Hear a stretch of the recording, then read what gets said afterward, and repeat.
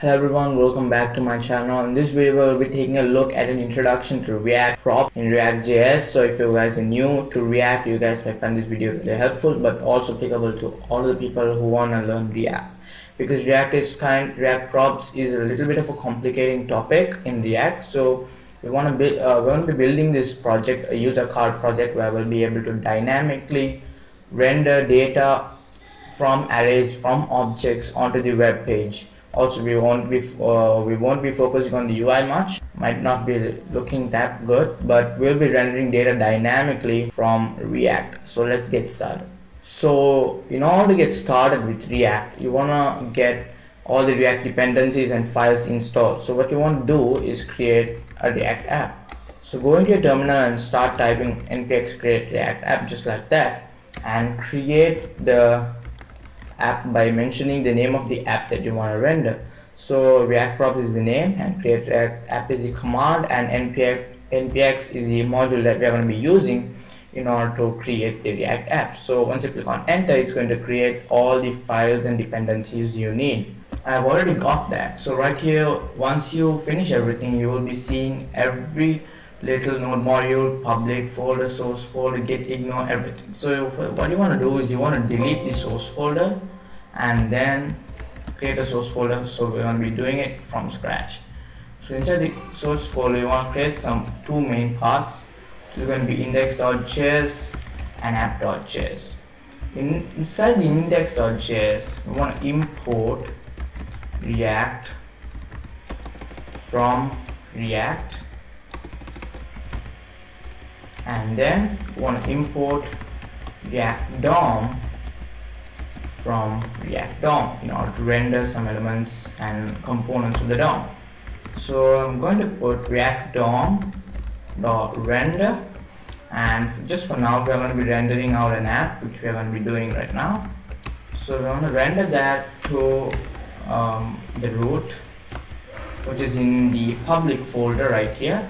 If you go to public inside index.html you guys can see a div with an ID of root so that's exactly where we're going to be rendering it so we are rendering the app but we don't know where the app is coming from. So right here I'll say import app from dot slash which is right inside here.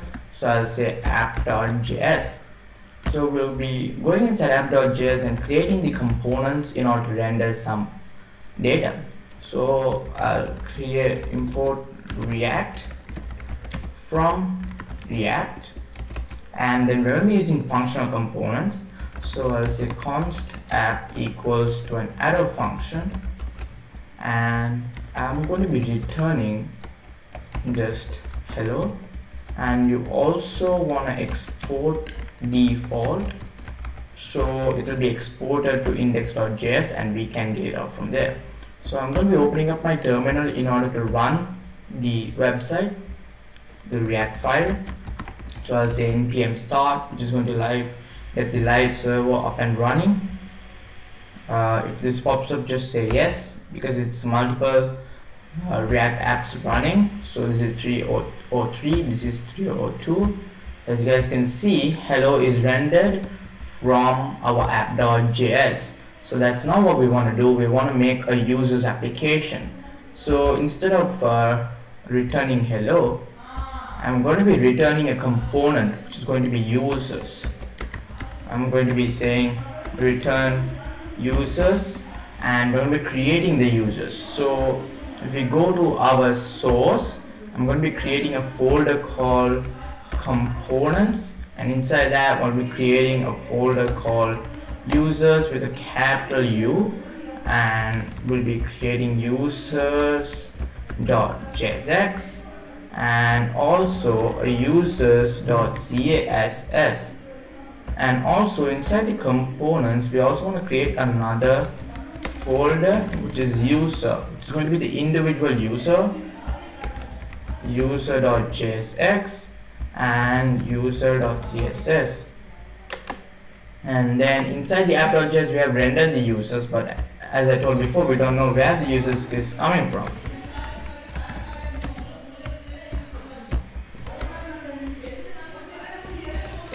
components. So from the components we are going to be rendering out the users. So go into the users folder and say user users.jsx so users.jsx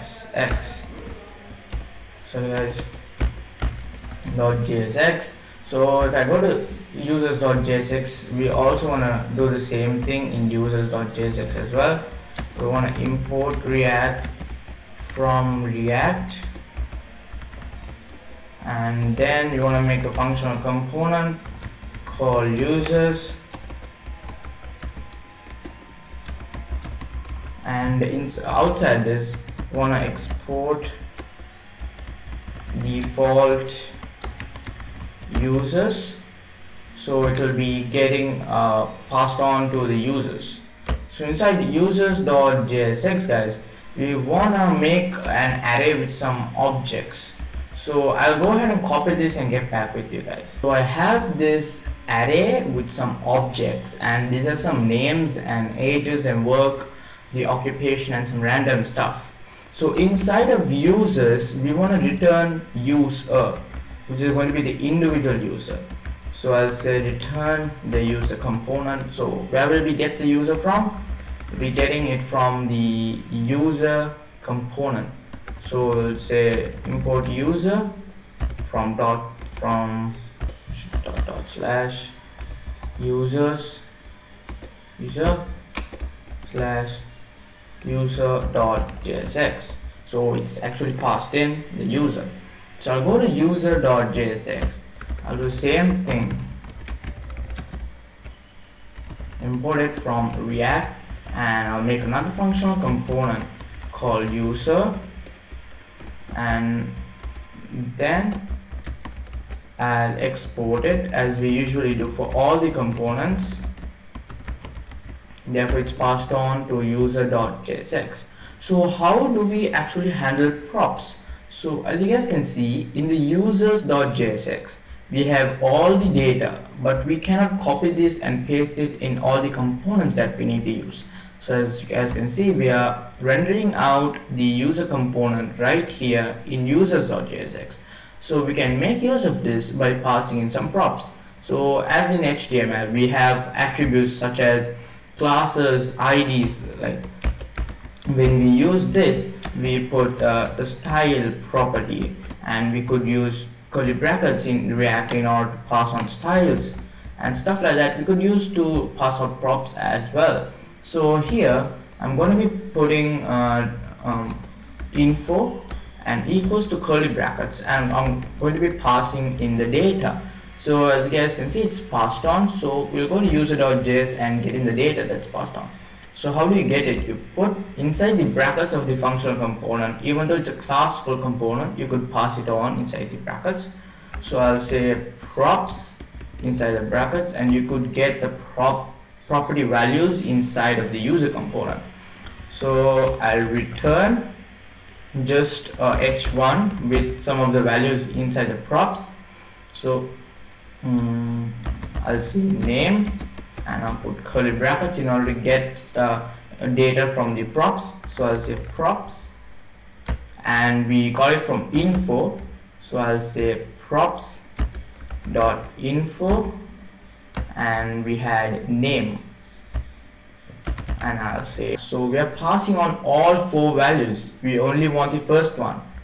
So I'll say zeroth value. As you guys can see it's showing showing my name. But what if you want to show multiple different values?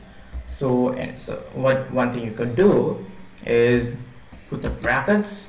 And I'll create a div inside this I'm going to be passing in the user component just like that. So we just don't want to just statically put the user component. Want to map it out to all of these values. So what I want to do is I want to say data dot map. If you guys are not used to map I actually made a video on that. I'll leave a link to it in the description if you guys are interested. We put map and then I'm going to give a name to each and every one of them which is going to be info. And also we want the i that is in inside it. And we want to get that. And then you want to pass on the user component. And also passing the values as well. So I'll say user data will be equal to the info. And also we're going to pass in a key value for each and every one of react components that are being masked on passed on sorry. So we have the i which is going to be counter and that's going to have a unique value for each and every item or an object. So we could get the values through user.jsx so props.info.name should be replaced with props.userdata.info and so if I go ahead and do that props.userdata.info and we are not just getting the normal info we are getting the name as well. So I go ahead and check info is not defined okay. Get him some errors and go check what's wrong. So this is the info that we're passing in. Mm, so inside this we should not put info because we are already passing in the info as the value to the user data. So now if we do take a look. It says ex expected assignment which is going to be like 15 in user.jsx just right here.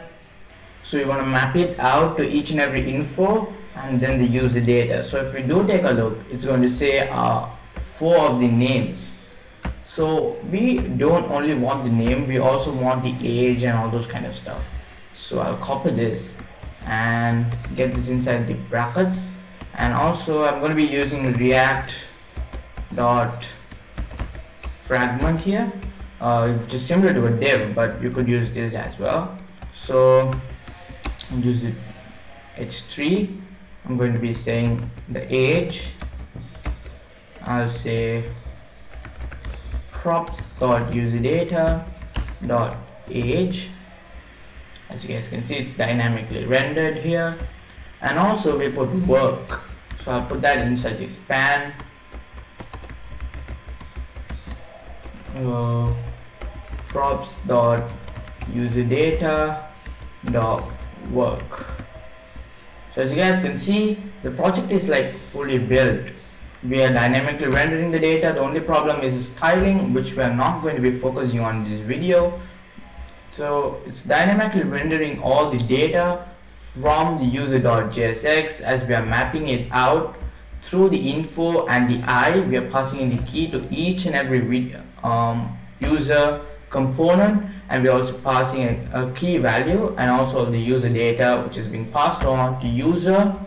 And we are getting that through props and then we're getting the user data and the values that are stored right here in this object. That's about for the video guys. Hope you found this helpful and i'll see you guys next time